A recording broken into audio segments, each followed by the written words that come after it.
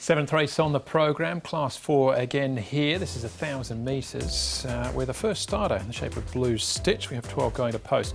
Gorgeous Vitality heads the list. Frankie Lor and Zac Purton uh, won very convincingly. Three and three quarter lengths, the winning margin last time over course and distance. Racing Fighter drops in classes into class four for the first time now. Fabulous eights, two-time winner over the trip. Both those wins though at Sha Tin. Blue Stitch makes his uh, debut for Tony Millard. Antoine Hamelin rides him from barrier one. Sergeant Pepper blinkers on for the first time. He's behind Gorgeous Vitality last time out. Infinity Win, beaten favourite over the 1400, now takes the drop-in trip. Viva Mama run up to Gorgeous Vitality last time. Chunghwa Jinsen and Strive for Glory eligible for Class 5 for Chris So, where they take the lightweight here with a couple of pounds off for Matthew Poonter.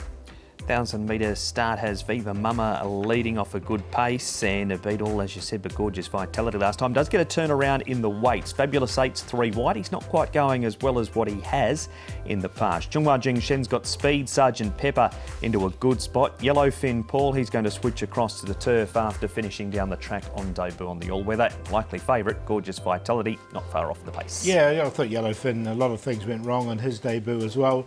Momentum Galaxy's drawn wide, so I think that they might have to go all the way to the back with him. All right, well, we'll start off here with uh, with Gorgeous Vitality, who's absolutely bolted up, uh, Mark. But the two horses that finish behind him in Sergeant Pepper and Viva Mama in second place get a £10 swing in the weights now. And that is the worry, isn't it? Got them all in, all three, but he didn't just win. He won by three and three quarters, and he was a third two starts ago behind Super Commander.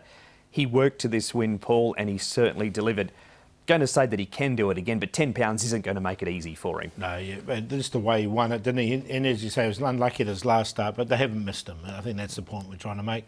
The other two horses, I think, are good chances as well. So look, I think it could be. A, I think it's a strong form race. I think all three can feature. Okay, Infinity Win, Paul, back at the trials here and showing a bit of speed as well after being beaten favourite at Sha over the 1400. Yeah, so nice enough trial. It was just a quiet trial, but he, he got to the front and he led nicely. He's got barrier number three uh, as well. So uh, look, he's uh, he's going to be in a nice position. He should be able to get his chance. He won by seven lengths. Hmm. I'd like to know what a quiet trial, a non-quiet trial is. Well, they're not going quick, are they? no, I mean they're not going quick, are they? Look at them. He, he did win by a big space.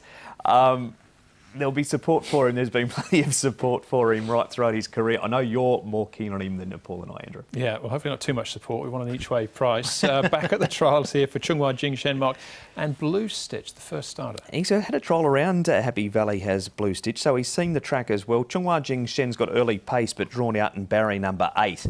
Um, just wanted to show this Paul Mulder show what Blue Stitch did. And you said his track work's been okay too. Yeah, hasn't been too bad leading into it as well. Look, he's a big price on debut. I'd like to see him go around. He's 11, uh, 1184 pounds, so he's he's quite a big horse for Happy Valley. Okay, well, interesting to see what uh, he can do. He's drawn well, hasn't he? Or drawn low, I should say. Barrier, yeah, barrier one inside gate, that won't hurt.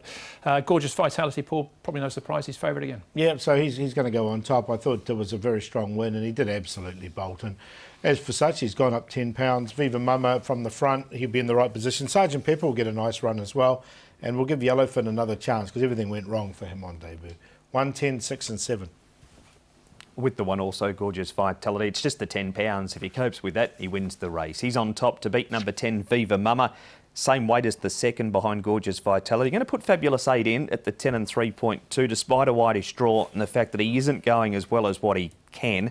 Blinkers go back on, and he's placed 6 from 12 course and distance, and 6 Sergeant Pepper with those blinkers on also. 1, 10, 3 and 6.